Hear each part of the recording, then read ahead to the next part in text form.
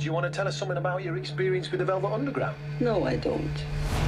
I'm sorry about the interview, Nico. Don't call me Nico. Call me by my real name, Christa.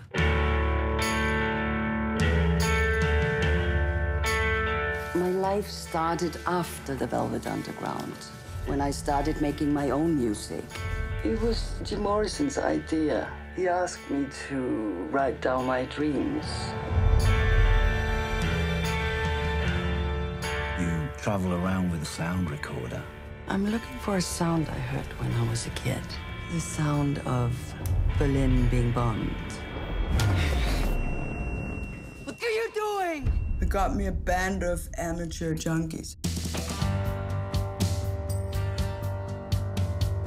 I miss my son so much. I was too young and crazy to take care of him. Would you have preferred more commercial success? I can't stand that word commercial. Do you like working with my mom? She's a star.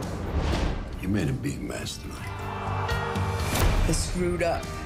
I don't need everybody to like me. I don't care. If you want to detox, I can help you with your son.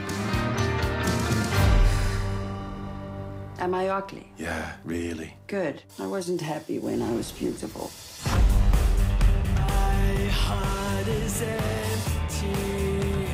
I'm sure that deep down, you must be proud of what these people are risking to see you perform.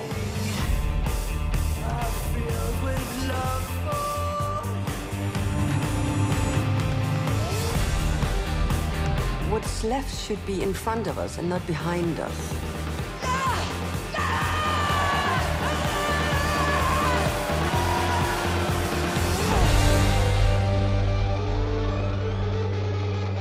My plan is to become a very elegant old woman. Methadone makes me sentimental.